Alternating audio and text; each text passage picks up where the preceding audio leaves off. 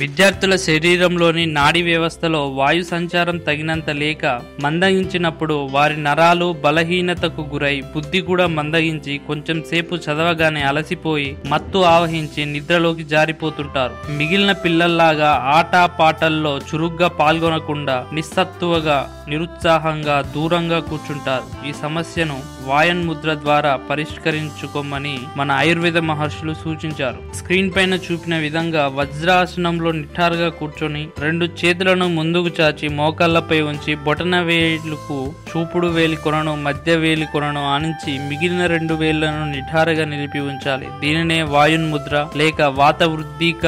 ముద్ర అంటారు రోజు మూడు పూటల పూటకు పది నుండి పదిహేను నిమిషాల చొప్పున ఈ ముద్రను సాధన చేస్తుంటే బొటన వేలిలోని అగ్నిశక్తి చూపుడు మరియు మధ్య వేళ్లలోని వాయు ప్రాకాశ శక్తులతో కలిసి గతంలో నాడీ వ్యవస్థలో లోపించిన వాయుగమనాన్ని సక్రమంగా మార్చి ఆ సమస్యను పరిష్కరిస్తుంది